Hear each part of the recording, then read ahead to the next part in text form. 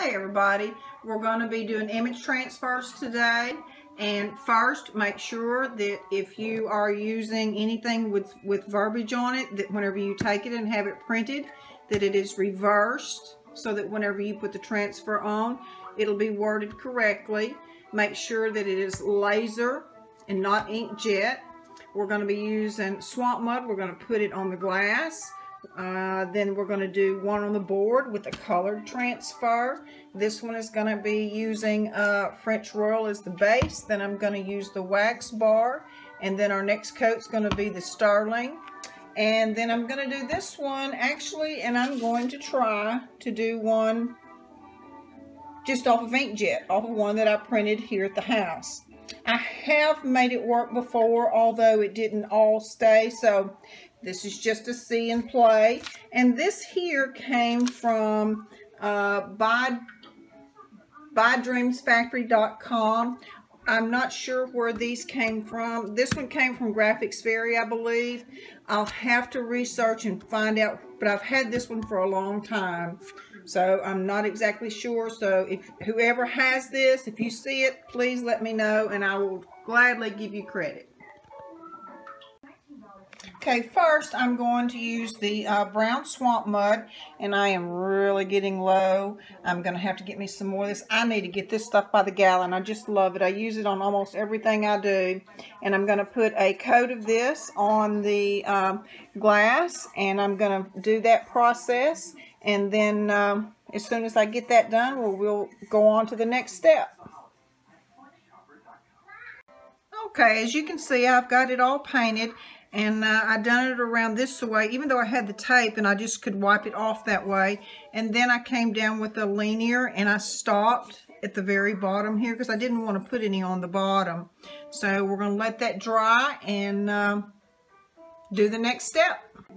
Okay actually instead of waiting to do the next step on the jar that we just put the brown swamp mud on we're just going to move on to the next project and uh, I'm going to base coat it again in the French Royal, let it dry, put the wax bar on, put on sterling, and then um, let that dry. We'll distress it, and then we'll do the image transfer. So as soon as I get that process started, we'll be right back.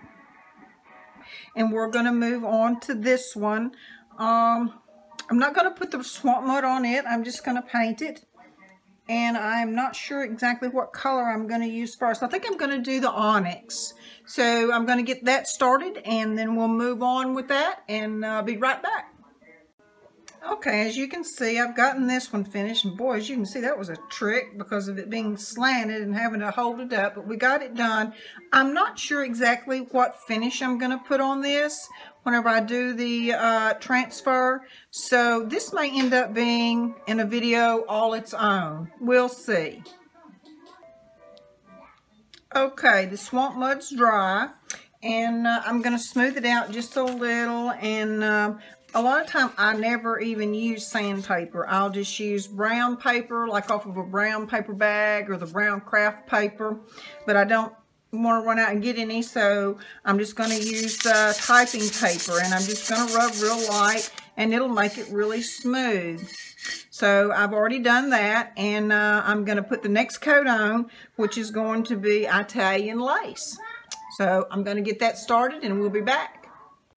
Okay, after I had uh, started applying the um, Italian lace. I needed a paper towel to wipe my hands on.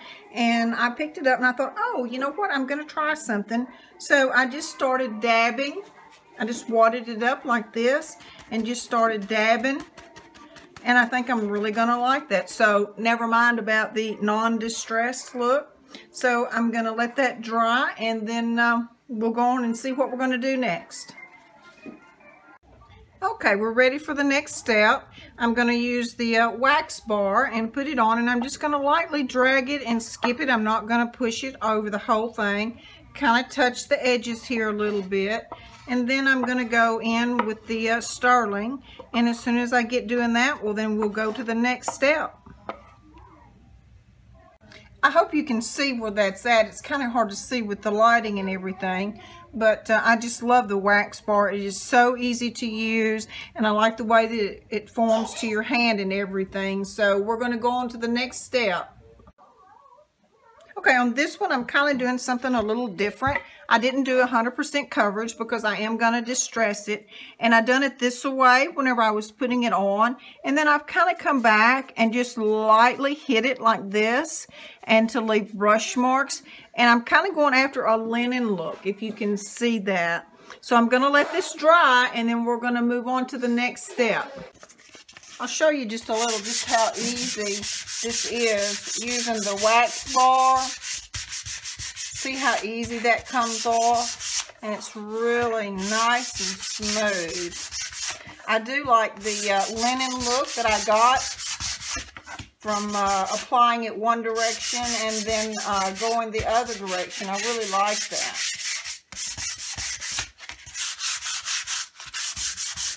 Okay, I'm going to finish sanding this and then we'll be back to uh, put the transfer on. Okay, I really like the finish on the jar. I may do some more like that. Turned out pretty neat. Uh, something I wanted to show y'all is on my transfers, most of the time I will tear them. I uh, hardly ever leave them square so there's sharp edges uh, whenever you take it off. That way whenever you uh, are pulling your image transfer and you're getting all the bubbles out, you're less likely to have a line. Or if you do, it'll look better with one like this. So I just take it and I just tear it as I go. And, um, you know, if I'm going for a distressed look and I happen to tear some off, well, that's okay too, because it doesn't have to be perfect. Um, so I'm going to get this done and then we'll move on to the next step. Okay, this is one of those things that you do that you call uh, back to the drawing board. I had to discard my other one. I broke it, and so we're starting over, and I only had one of the grain uh, transfers, so we're going to do the sheet. And as you can see, uh, I've already got it torn, so I'm going to put the uh, image transfer on the jar. And it just goes to show you not everything always works out perfect, but that's how it goes. Uh, thing is, is don't have wet hands whenever you pick up your jar. I'm going to put some on the transfer as well.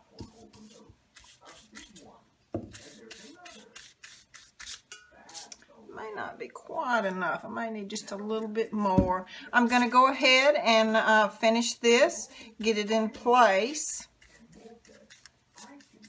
Okay. Put it on there, and then I'm going to rub it and get all of the air bubbles out.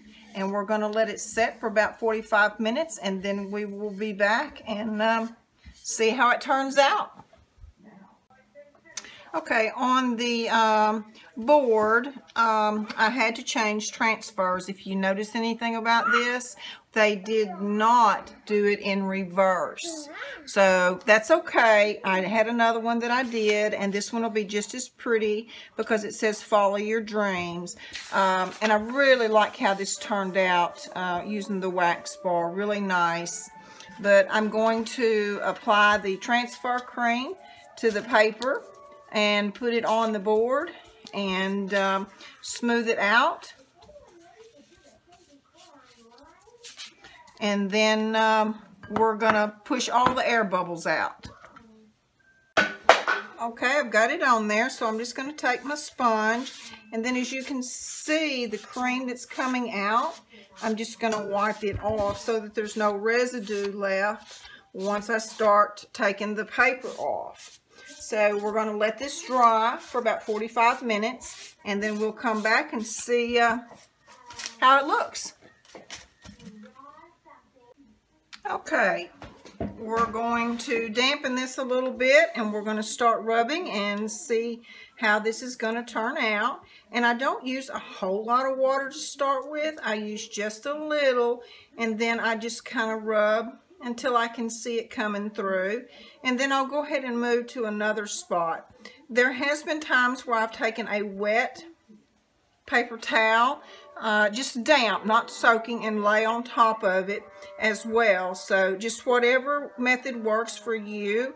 And then I would take it off and then I would just add water as I go. But I don't stay in one spot very long. I just kind of move on. And as you can see, it's beginning to show through. Okay, well I'm going to go ahead and keep doing this. And um, we will be back in just a few minutes once um, I get all of this off.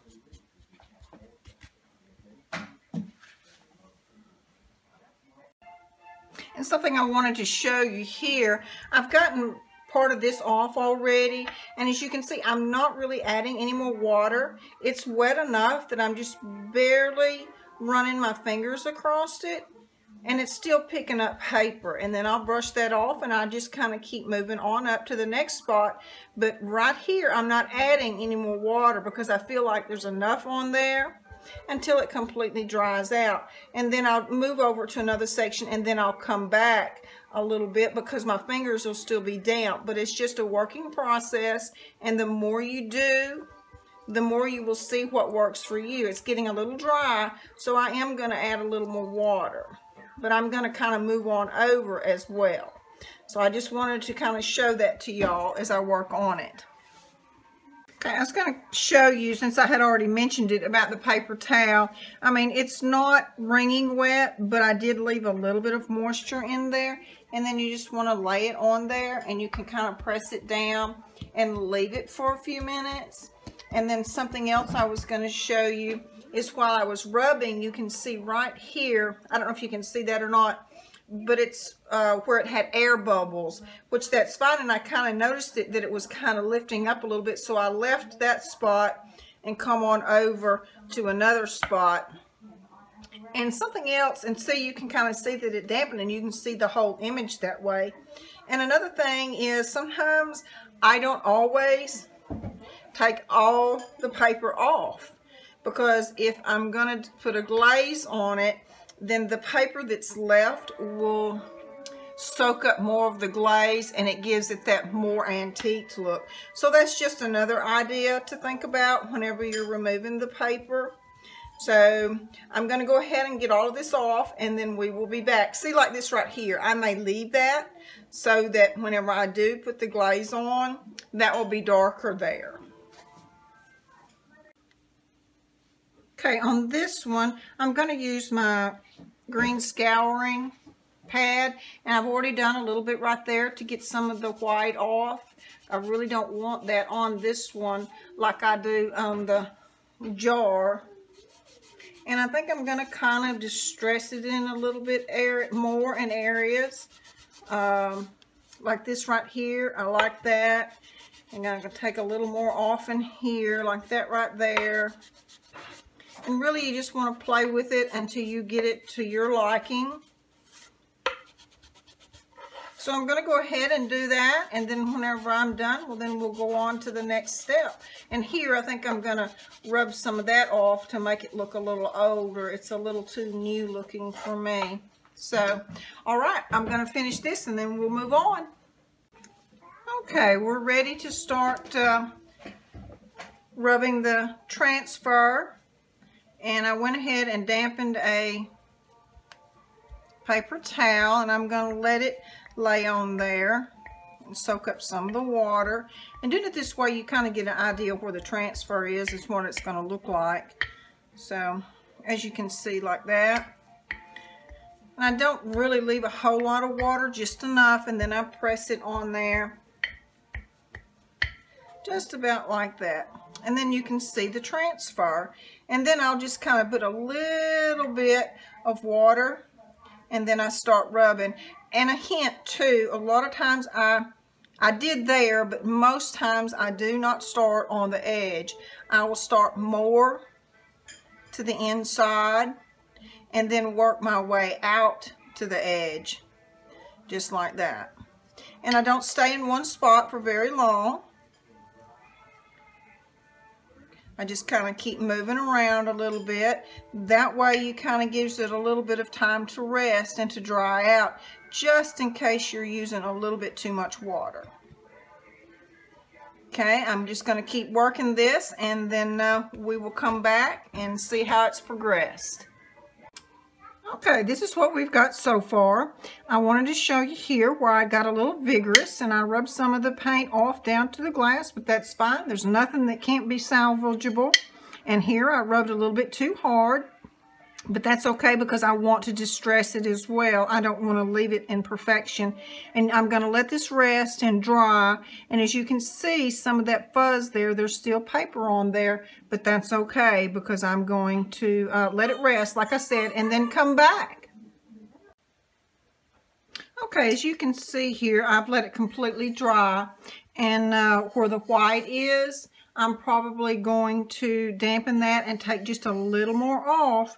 But I think I'm going to leave the rest of it and I may take a little off down here. But I like the way the rest of it is looking, so I'm going to do that and then I'll be right back. And I want to show you that since I've let this totally dry, how much easier it's coming off. You can see where I've already taken this off. And I'm, I mean, I'm, my finger is just barely wet and then that's coming off all the way down and there's not anything left and you can kind of see right there doing the same and I'm just barely dipping my finger in the water and then lightly rubbing and then it's taken you can feel it underneath your finger as you ro it rolls up underneath there but see I really like that. All right y'all I'm gonna finish this and then we'll go to the next process Okay, we're ready for the glaze. And I'm going to use uh, a little bit of burnt umber and the truffle glaze of Miss Lillian's. And I've put some um, of the umber glaze in the plate and added a little bit of water. And I'll show you what I'm going to do with that in just a second. But first I'm going to start with the truffle. And I'm just, and I have a little bit of water in my brush so that it's not, you know, um, so too strong because I wanted it to be a little bit lighter than what it really is. So I just put some water in my brush, not soaking, just kind of damp. And I'll make it darker in areas.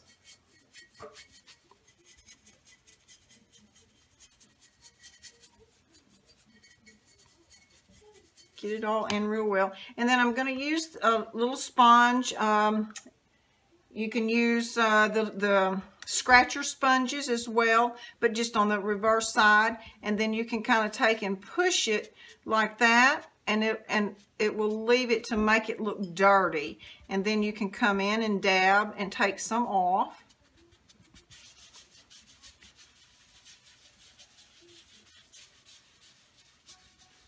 And so you can kind of work it on around.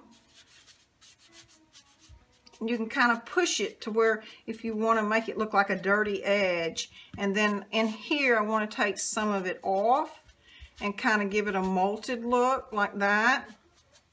And then see how that's going to push it down there around that. I wanted it to, but if you just kind of push it, then you can make it look really dirty. And then I'm going to come in here with this, the uh, burnt umber, that is a little watered down and I may dab just a little bit of water and then I'm going to put it right here like this and then put a little bit of water here and let it start draining down. Okay, as you can see here, I started letting it kind of run down just a little bit. And I did go get me a, a water bottle so that uh, it would run a little bit easier. So I'll just take and I'll put some up here on the top. Then I just take the water bottle and squirt just a little bit of water on it and let it start doing its natural run.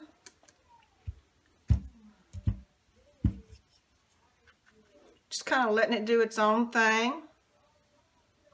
And then see this will kind of move what already is there. And I'm really liking that, how that's looking. It's going to look very old. So that's how, and it's, if you want some taken off, just go in with your sponge and see, I really like how this is turned out. And it's just for your preference of however, and the more you do it and the more you work with it, you're going to find what you like. So that's it. I'm going to finish it and then we'll take a look at it when it's all done and dry. Okay, we're going to stain the um, Follow Your Dream ones. on. It's on the wood, the colored uh, transfer, and uh, or not stain. We're going to use a glaze, and it's called Smoke. It's Miss Lillian Smoke, and I really do like it. And um, we're going to just brush it on. do the sides first.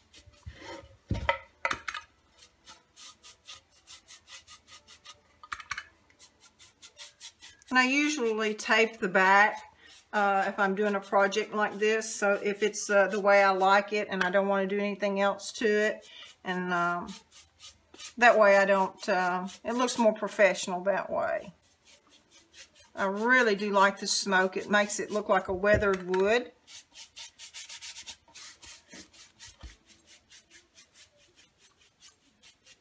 get that in real good. And then I'm going to use a sponge or you can use a soft rag t-shirt or whatever. And I'm just going to drag it and pull it off until I get it to the way that I like it.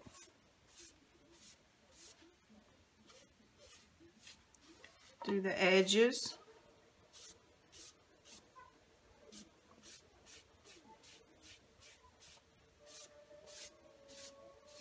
Okay, I really like that. We'll let that dry and then we'll come back and take a look at it whenever it's dry. Okay, I almost forgot the most important part and that's the lid. So what I did is I took uh, Miss Lillian's Swamp Mud and mixed it in with Texture Magic. Texture Magic is a, um, a powder and you add it to your paint color. And there's other videos on that as well. And as you um, if you just want to look it up on my YouTube channel or uh, my website, uh, you just want to take your chip brush, load it up really good like that, and you're just going to pounce it on. And I thought I'd go ahead and do it with the swamp mud, and then I'm going to come back with a lighter color on the top. But I wanted some texture to so it would look old. And you want the highs and the lows of pouncing it up and down, just like that. And we will let that dry, and then we'll come back.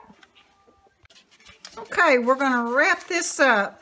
Um, it's dry now, so I'm just going to sand it a little bit, smooth it out. And I'm going to sand it to where I want some of that to show the lid, which is fine.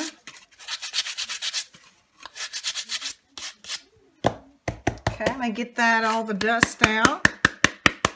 Now I'm going to do some uh, truffle glaze on here.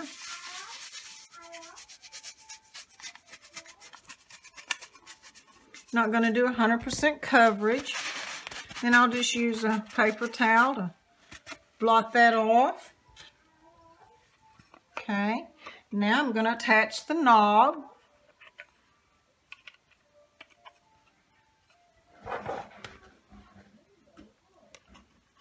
Isn't the knob gorgeous? I'll put a link uh, for y'all to purchase those. Okay, isn't that pretty? I know it's a new knob for an old rusty uh, look, but that's okay. You can do that. Okay. And we are done. Thank y'all, and I hope y'all enjoyed, and there's more to come later.